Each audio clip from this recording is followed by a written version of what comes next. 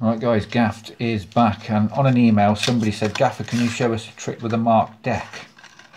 So I thought I'd show you this one. Start by taking out the four aces, we get the two red aces and the two black aces. Oh sorry, the two black aces and the two red aces. We'll take the ace of hearts and we'll place that somewhere near the middle. Just scoop that up. And we'll leave that card somewhere. Somewhere in the middle.